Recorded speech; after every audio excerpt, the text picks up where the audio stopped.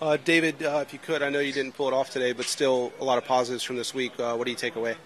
Yeah, um, you know, yesterday I, that was a that was a strange day. You know, waiting around as much as we did, um, and you know, my I thought I'd be pretty calm, but yesterday I was pretty apprehensive. I I wasn't feeling great, and came back today with a totally different outlook. Um, and I'm pleased with the way I played today. There was a couple of iffy shots, but um, you know, I I I put my best foot forward today. I felt like, and I was I was more comfortable, and um, yeah, I you know, Austin was quite a long way out there from where I was, so uh, yeah, I would have liked to have got that one up and down on 18, but uh, you know, we'll move on to next week. What were what were the biggest takeaways for you this week, and, and how will you apply those going forward?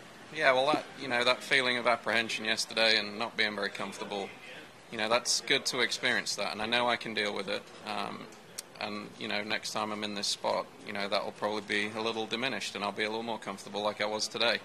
You know, I felt I felt pretty comfortable today. So, uh, yeah, you know, a lot of positives. Um, I'll just try to put myself in contention again because there's nothing more fun than being in contention. And then uh, where will we see you next?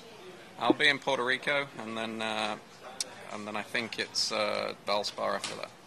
Awesome. Thanks so much. Appreciate it. Thank you. Yeah, thanks, Dave. Really appreciate it.